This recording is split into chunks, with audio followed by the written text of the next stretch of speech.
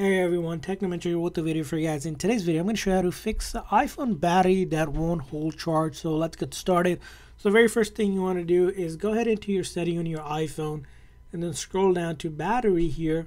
And in the battery section, you're going to go down a little bit further and take a look at apps that are using your battery. If you notice that an app is using up all or a lot of your battery, it could be an app issue where you need to go ahead A, update the app or B, delete the app and reinstall it, or simply just remove it from your phone here. As you can see here right now, for my phone, as you can see, it seems like a normal battery charge. There isn't an app that needs to be uh, done with the update, but if there was, let's say there's an app here that you're seeing, the battery amount is high, you might want to consider updating it so that if there's a bug or a glitch, it will fix that from draining your battery. So in the phone here, you're going to go to the App Store here. From the App Store, you can go ahead and search for that specific app, or you can click on your profile up here, and it's going to list all the apps that require an update.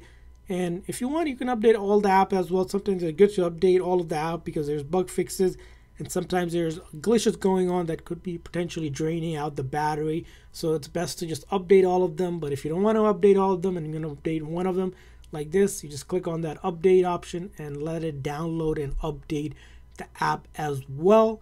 And once it's updated, hopefully your issue is fixed.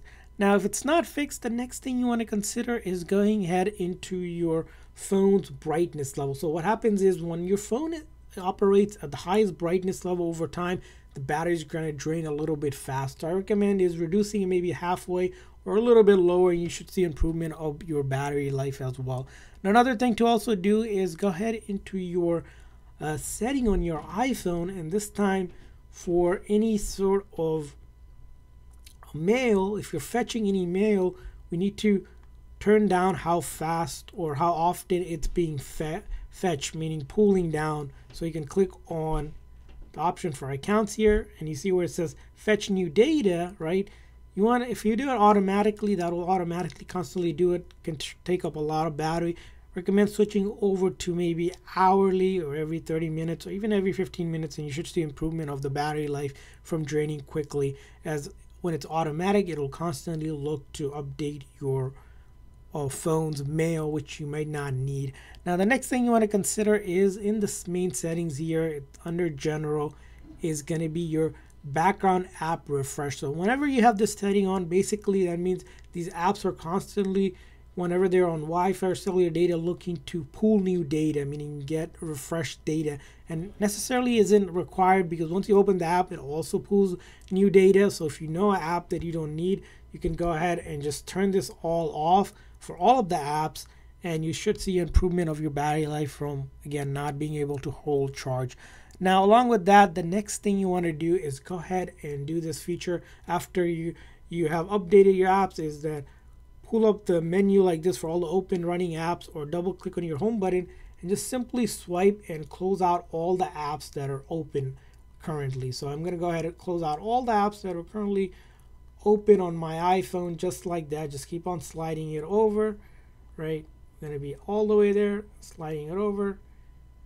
Let's try one more time. Just keep on going. And once all the apps are closed, we're going to do this process. First thing is you're going to press and release the volume up press and release the volume down then hold on to this side button just like that. And we're gonna wait for it to completely go black before the Apple logo appears then we'll let go of that side button. When it says slide to power off do not need to touch that. Just keep on holding that power button and then let go once you see the Apple logo.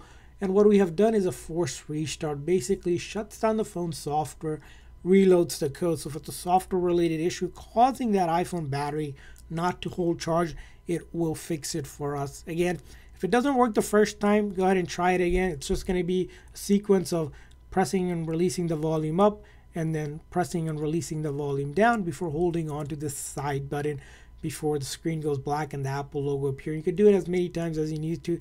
Method is completely safe, will not delete any of your personal data, all of your photos, videos, apps will be on your iPhone. Now the next thing to do, it's going to be probably even more important, is that in the settings, go to general, go for in this software update is to update your phone software. Sometimes what happens is a previous software might have caused the issue with the battery draining quicker or battery not holding charge. It's time to go ahead and update it because Apple will release a new fix through the software to fix the battery. So you want to go update your phone to the latest version as well. And then a few tips in terms of making sure your battery holds the charge is that if you're using a charger that's not Apple's, I recommend using a genuine Apple charger and the Apple wall adapter as well. What happens is when you use third party ones or ones that aren't specifically designed for iPhone, over time they might not deliver the right amount of output to the battery, causing that battery to drain out. So use a genuine, basically a real Apple product for Apple charge charging your phone. And lastly, another thing to consider is that if you did all of this and still not holding charge, it might be time to replace your battery. A good way to check that is in the settings, go to battery, click on battery health. Right here, it's going to tell you your battery health. Now, if it says normal, it's great. If it says things like service, that means your battery might need to be replaced. Or if you see that capacity under 80%, usually Apple recommends replacing it under 80%. 100% capacity is when the phone is brand new or the battery is brand new. And you can also see the cycle count. If you see this number maybe closer to a thousand or a thousand or more it's probably time to go ahead and replace your battery which you can do at the apple store authorized apple repair shop where they can replace the battery. And i hope these tips and tricks help you guys fix your iPhone battery that won't hold charge? If so, please consider the like and subscribe button. And also, if you would like to donate to support our channel, it's in the description box. See you guys next time.